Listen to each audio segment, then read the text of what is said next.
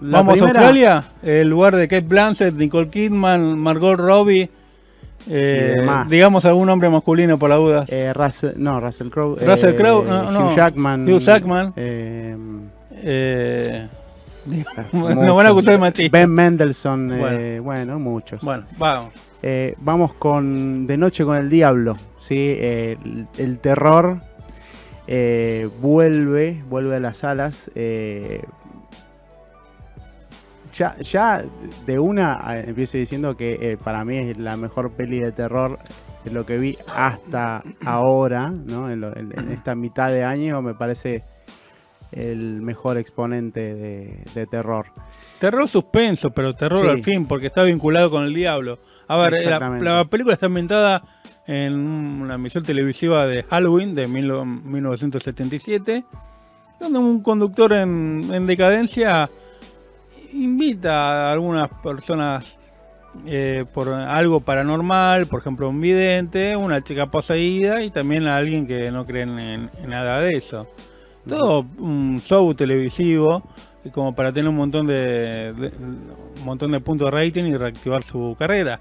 Pero pasa algo inesperado. ¿No es así? Exactamente, el tema es, todo viene más o menos bien hasta que aparece una chica que, bueno, que aseveran que está poseída después de, de un ritual que se hizo en una, una secta satánica. Es la única, la única sobreviviente de un incendio en una casa. eh, y bueno, este, empiezan a pasar cosas raras. Así es. Eh, todo en un late night que es ese eh, subgénero televisivo, género televisivo, que en Estados Unidos es muy popular. Sí. Sonny Carson es una gran figura. Ahora está. ¿Cómo es el Lo nombran en la película, de Sí. hecho, eh, porque es Compite, la la competencia. Del, del- de por el rating con, Ah, con ¿cómo- Johnny Carson. ¿Cómo se llama el, el Bueno, Say Leno era un reemplazante de Sonny Carson. Está Jay Leno, eh, Eh, Le- Letterman. eh, Letterman, es otro. Esos son los clásicos. Sí, Conan O'Brien y después Conan está el comediante este que imita músico que es muy conocido. Jimmy Fallon. Jimmy Fallon, Jimmy Fallon es Jimmy el- Kimmel. Viene de, de- del mismo de la continuidad del programa de, de- del primer eh, late night, ajá, Sí. que lo, lo acabamos de decir, que es la competencia justo del de Johnny Carson. Johnny Carson. eh, que la gran- es la gran figura, un, una- un prócer de, de- de- de la televisión. Mi favorito es el escocés eh, Craig Ferguson. Sí. Ese es mi, favorito personal, pero. Acá el formato lo trajo eh, el, el Petinato y ahora lo, lo revientan. A veces sin gracia, a veces con Sí. buenos chistes. Pero. No es un formato que pegó mucho acá. No, no, no. Lo que pasa es que acá. Allá tienen un equipo de, de guionistas. Acá tienen un par de, de guionistas. y Obviamente están quemados con la cabeza y a veces tiran chistes malos. Pero allá es- hay mucha cultura. Pero Eh, bueno. También lo conducen gen- personas que tienen sentido del humor encima. Sí, sí, sí. Y bueno, acá el, el- el formato es muy televisivo porque tiene el formato, si no me equivoco, es 4.3, el formato más Sí, cuadrado. así es. Y que hasta que se, que, se inventó el, el- widescreen, digamos, la, la- la pantalla más ancha. Eh, y bueno, es, es como estar viendo un, un programa eh, de televisión, te, te- te- da esa, esa vibra porque este, eh, todo lo que pasa es, mu- es- obviamente es muy televisivo. Y, y- y también lo que, lo que sucede en los cortes y cómo, cómo van, van manejando el tema de, de los invitados y, y incluso hay, hay gente de la producción que se que digamos que no está está en contra de traer ese, ese tipo de invitados como la, la- la nena poseída que se llama Ingrid Torelli, la actriz, y el conductor es eh, David Tas- Tasmantin. Dalmakian, sí, Ma- creo que Makian. es Dalmakian, sí. Eh, Eh, laburó en eh, Escuadrón Suicida, en Duna, en, en varias películas, pero Exacto. acá es como que la rompe y es como que demuestra que tiene potencial. Eh, es uno de los eh, de los aliados de- del Guasón en, en El Caballero de la Noche. Es uno el, el que agarra a Harvey Dent para interrogarlo. Sí. Es él. Bueno. Eh, bueno, eh, viene, viene de una, una carrera.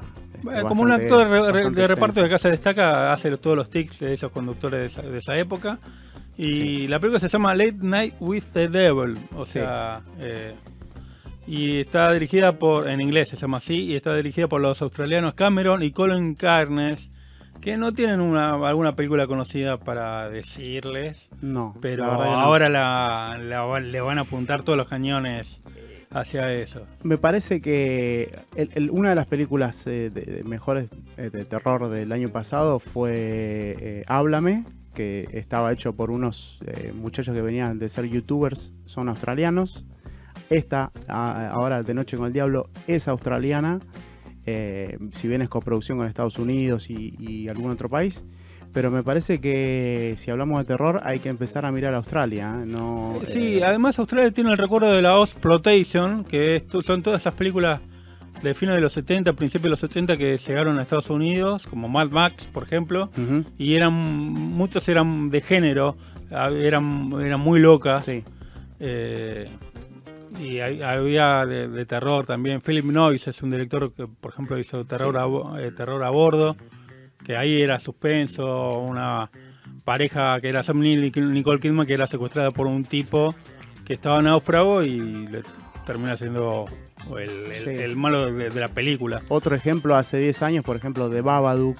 eh, Babadook, que sí. r- rompió todo este, a nivel mundial. eh, fue, fue un, fue un furor esa película.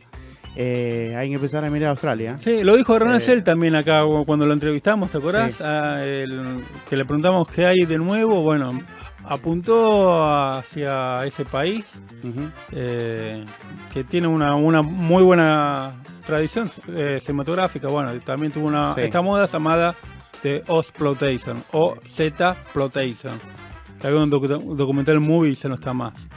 Pero Así que me gusta también el, el mensaje que, que tira de, de cómo eh, hasta dónde están estás dispuesto a llegar también por la, por la fama, por Sí. el éxito. Eh, también trata ese La tema. desesperación. eh, la, la- la desesperación que, que tiene el protagonista por, por, por ser exitoso, por, eh, por tener rating, por bueno, todo lo que conlleva la fama. Sí, además los personajes están todos muy justificados, to- todos tienen una posición estratégica, por así decirlo. No están puestos porque sí. eh, y pues, sobre todo por este del, del que no cree nada de esto. Hay un escéptico, Del- del hay, uno que se dedica, digamos, a desenmascarar a, eh, a, a falsos, eh, no sé, parapsicólogos o como, como quieran llamarlo. Eh, que estuvo muy de moda en, la- en los 90. Eso, acá. Sí, eh, Tony Camo. Sí, era- sí, sí, bueno. sí. Eh, pero la, la recomendamos, no es tan así suspe- eh, terror, así sangriento. Sí. Dicen que le roba la historia de, de lo oculto a una argentina. A mí me, me parece que no, vos no la viste. No la vi, no la vi. Yo me acuerdo de un momento de Scanner que era televisivo, donde explotaba la famosa escena de donde le explotaba la, la cabeza. Sí.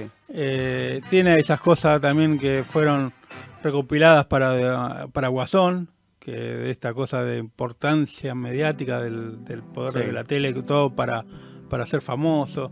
Hay, hay, hay- una hermosa combinación y la Muy- película ganó el, perdón, ganó el premio de- del Festival de Sitges Sí, el, el año pasado al mejor guion, el mismo festival que cuando se echa la maldad gana mejor película.